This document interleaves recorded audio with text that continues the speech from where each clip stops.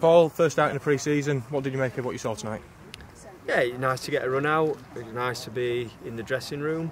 You know, although it's, it's a pre-season game, still to just get that feel again after some time off. Um, and I think we've come through injury-free, I believe, and everyone's got 45 minutes in the legs, so that's that's pleasing. We won the game. You know, I, the be-all and end-all. We're expected to win. I get that, but still want to win it. Um, the lads will be pleased we've got on the score sheet. Uh, just a little frustrated that we, uh, you know, conceded from the penalty spot. And you've got two of your new strikers got on the score sheet today. I know it's only a pre-season friendly, but it can only be good for their confidence, can't it? It certainly can because, you know, I remember um, when I was here the first time, well, I won't name him, but we brought a striker in who at the time was probably going to be sort of fourth choice. Didn't stop scoring in pre-season, started the season, and then scored a hell of a lot of goals for us. So, kind of said that to the players at the at the start. First impressions, you know, are, are important, and while there's, you know, there'll be a lot more to come from some. Um, we certainly hope so in terms of fitness and performance. But it's nice to uh, you know make make that impression on the fans because they seem to make assumptions anyway um, about certain players when they sign and you know they, they're brilliant when probably they haven't seen them play uh, or in some cases at least uh, but yeah they'll be they'll be really happy some of them some more than others I would suggest so that's natural uh, but you know now we'll move on to the next game at, at Cleethorpes and it'll be the next chance to impress.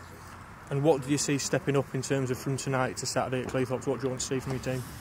Um, I think we need to move the ball a little bit quicker at times. Uh, an understanding of you know playing some longer passes on on some occasions just to try and stretch the game a little bit. You know, to be fair, Grimsby had a, a good shape to the team, got behind the ball and were quite patient for the majority of the time, so it wasn't easy. Uh, but I thought we scored a couple of good goals and probably the best move of the game we, we didn't quite um, exploit when we sort of counter-attacked. Uh, but I think you're just hoping for that sharpness to come gradually. You know, it's not too many days away, obviously, so it's not going to suddenly be a vast improvement.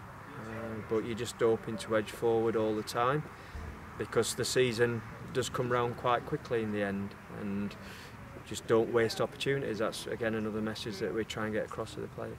And just reflecting on the first 10 days of pre-season, what do you make of what you've seen from the team in uh, down at Cheapside? No, pleased. Um, you know, I think we part of the recruitment process is trying to get good people as well as, as good players. And from what I can see, it looks like the group are, are getting on well. Uh, that's important, that bond. You know, that'll, I think, step up another gear the longer they, they're together when we go away as well. So they kind of in each other's pockets even more. Um, and that's sort of another plus uh, from going away. So looking forward to that. Um, but no, being pleased with it. You know, we've had some good work, probably a lot of sort of fitness work, out of possession work.